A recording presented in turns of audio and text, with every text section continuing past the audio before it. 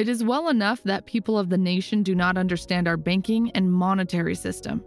If they did, I believe there would be a revolution before tomorrow morning. Henry Ford. The next economic crisis is coming, and if you want to understand the situation and prepare yourself, then this video can be a good start because today I will summarize a book called Second Chance, written by Robert Kiyosaki. Kiyosaki is one of the few people who correctly predicted the 2008 financial crisis. During crisis, wealth is not destroyed, it is simply transferred from one group to another. If you study history, then you can predict the future and position yourself correctly. This book is divided into three parts past, present, and future. Part 1 Past. In the upcoming minutes, you will see how history repeats itself again and again, and how governments simply refuse to learn their lessons. Kiyosaki talks about two important terms when he is reviewing the past. First is quantitative easing, and the second is gold standard under Bretton Woods Agreement. Let us start with quantitative easing. Quantitative easing simply means printing money. You might ask why we don't just call it printing money then. Well, my assumption is that governments are usually using complex terms so that the average person does not understand what is going on. If you get into financial trouble and decide to print money in your basement, then you would be arrested for that. However, government does a very similar thing, but no one says anything. Governments usually print money when they are in economic crisis or when the money is needed for critical situations such as war. You might ask why printing money is bad. And the answer is every time when money is being printed, poor and middle class get even poorer, and rich get even richer. Printing money kills the value of the money, increases inflation and taxes. Regular people's wealth is stolen via the inflation. Inflation is certainly bad for the average person. It means the money they've worked hard to earn is suddenly less valuable. Printing money is not a new trick.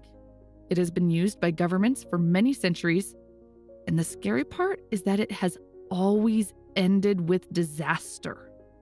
There is no single evidence in history showing that money printing brought prosperity in the long run.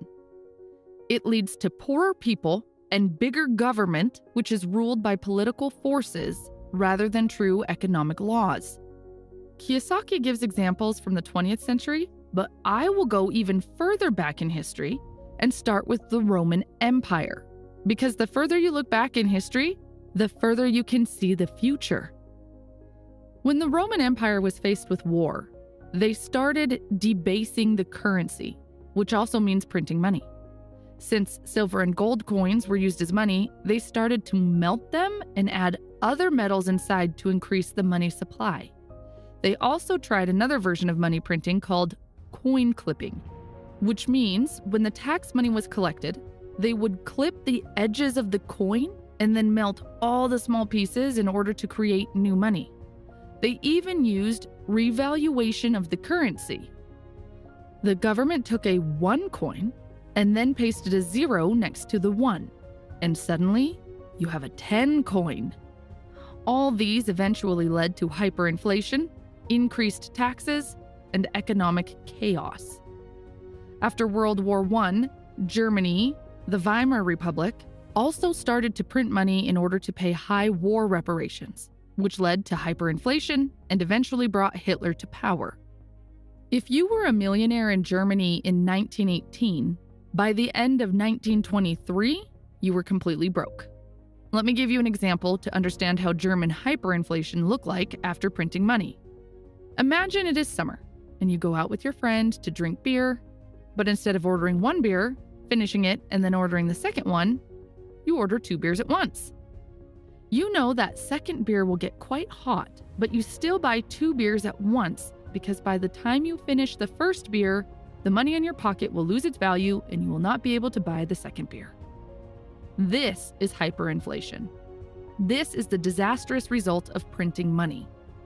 Romans did it, Chinese did it, English did it, Germans did it, Zimbabwe did it, and it always ended badly. Now, America is doing it. Governments never learn from the monetary history.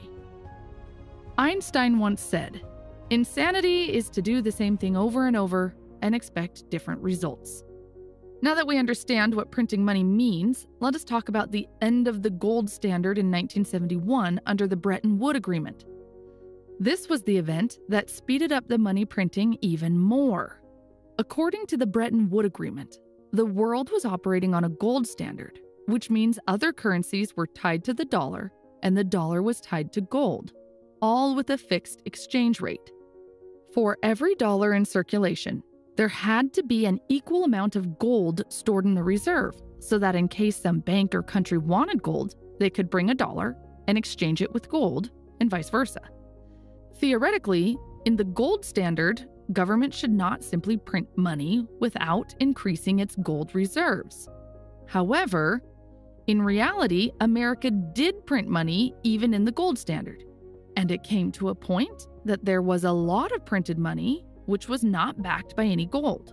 So if people started to demand gold in return for their dollars, America would not be able to give back their gold. The next logical step from America's perspective was to end the gold standard, which eventually happened in 1971. American President Nixon cut the last tie between gold and the dollar, which meant America could now print money easily, as much as they wanted, money became a tool in the hands of government and politicians. Since 1971, America has done three quantitative easings, and each time the situation gets worse and worse. Printing money is like building a house on the sand. You know that it will collapse eventually, but instead of stopping the construction and finding a solid foundation, you keep building it, and when problems happen, you simply find some way to prevent the house from falling apart. Once you start printing it, it is very hard to stop it. Stopping it means tearing down the house and starting all over again, which is something most of the politicians don't want to do during their service and be remembered badly. So everyone is pushing the problem to the next administration, and the show keeps going on. If you want to see the effects of money printing, then look at the following factors. 1. Since 1913 until 2018, the dollar has lost 95% of its purchasing power. This makes life difficult for those who work for money. 2. The number of food stamps has reached a very high level. If you don't know, food stamps are a government support for people who cannot earn enough money for living. 3. The middle class is shrinking. The gap between rich and poor is very high. 4. Sizes or grams of products in the markets get smaller. It looks like it is the same price and the same product, but the weight or number of packs inside get reduced. This is very similar to the coin clipping we discussed above, but this time it is happening on products. 5. When the economy is in a bubble, stock prices and real estate prices go up. Everything looks good outside, except average people get poorer. 6. Look at the interest rates on savings. It is around 1 to 2%. There is so much printed money in circulation, and banks don't want your money. Now, you might look at all this and say that it is in America. It does not apply to us. Well, I think this kind of thinking would be too naive. The world economy is tied together more strongly than ever. Kiyosaki says that around 70% of world currencies are held as US dollars. The US dollar is the reserve currency of the world. You don't have to be an economics professor to understand that if the US goes down, the world goes down with it. Another dangerous thing is that almost all the world currencies are fiat currencies, which means they are just paper. There is no gold or other thing that is backing them up. And history shows that all fiat currencies eventually return to their original value, which is zero.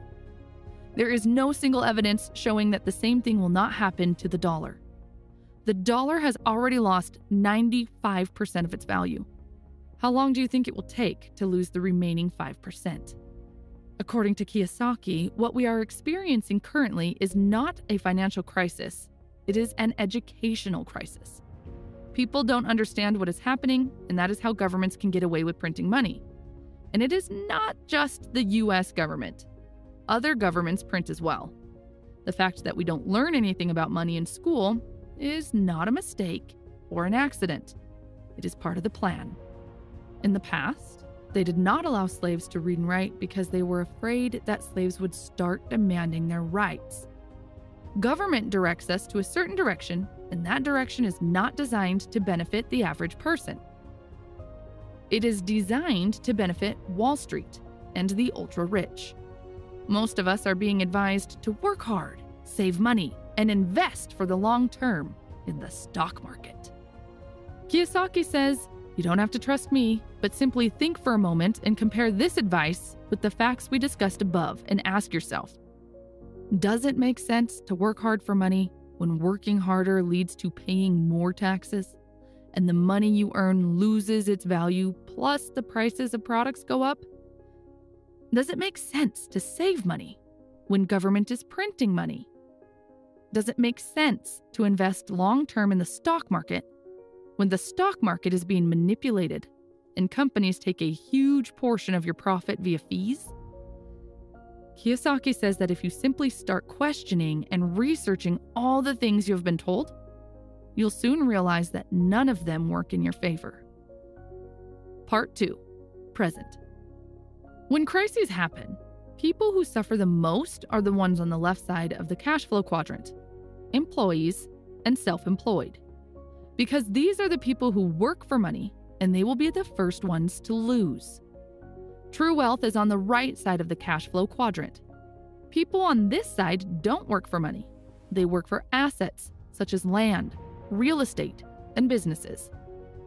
The author recommends transitioning from the left side of the cash flow quadrant to the right side, where true wealth exists. And in order to do that, he recommends choosing one of the four asset classes. In case you don't know, the four asset classes are businesses, real estate, commodities, and paper assets, such as stocks and bonds. Business is the hardest asset class to acquire, but also the most profitable. On the other end, paper assets are the easiest to acquire, but less profitable and riskier.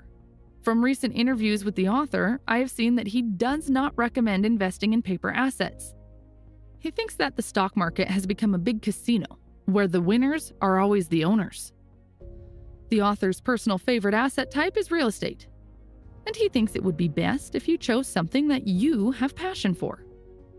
Part 3 Future Let's recap what we discussed in previous parts. In the first part, we learned that government prints money, and it badly affects people who work for money and save money. In the second part, we learned that true wealth is on the right side of the cash flow quadrant. Finally, in this part, I will share some of the advice from the book on how to transition from the left side to the right side of the cash flow quadrant. The author's first advice is to get financially educated by playing the cash flow game. The first best way to learn something is by actually doing it.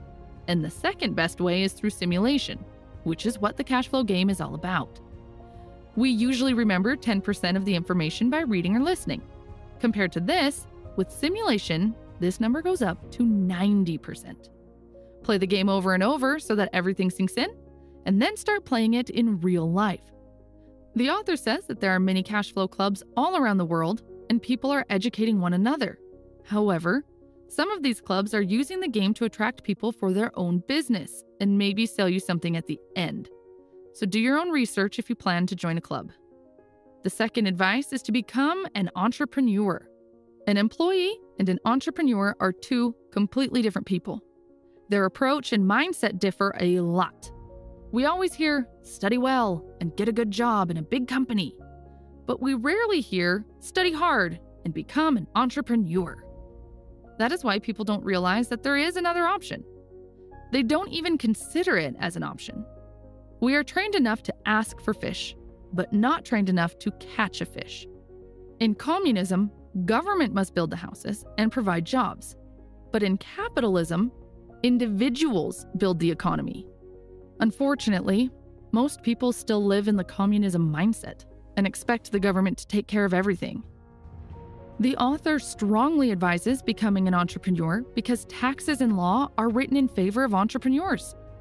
Entrepreneurs are the ones who are building the economy, creating new jobs, developing real estate, and investing. Government needs entrepreneurs, otherwise, there would be no jobs and government could not collect taxes. Many people think becoming an entrepreneur is risky, so they want a secure job in a company. But there is no secure job thing anymore. Most of the jobs are moving to India, the Philippines, and other cheap countries. Having a job is actually riskier than becoming an entrepreneur because when you have a job, you only have one client, and that is your employer. If he fires you, then you are in deep trouble. But if you are an entrepreneur, you have many clients. Advice 3 Don't live below your means, expand your means. If you go to a financial planner, he will look at your expenses and advise you to cut the expenses. So you will stop drinking lattes. Kiyosaki says, Why don't we look at the other side of the equation and find ways to expand our means so that the price of a latte becomes nothing? Cutting expenses is a passion killer. Don't kill your passion, rather, find ways to feed your passion. Always ask, How can I afford it? Advice 4 Learn how to use debt and taxes to acquire more assets.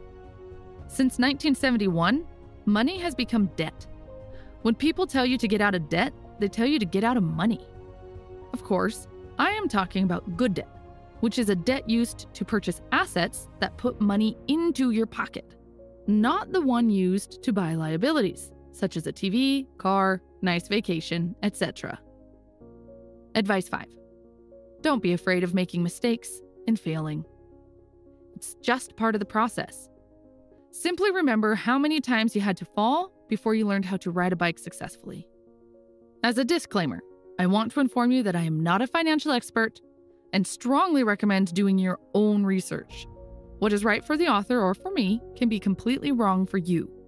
Becoming an entrepreneur is a tough job, and maybe you don't want to work hard, be stressed out, and take full responsibility. Maybe you don't care about assets and you are happy to be in debt and driving around with a Mercedes. It's your life, and it is not my business or anyone else's business to tell you what to do with it. Thanks for watching.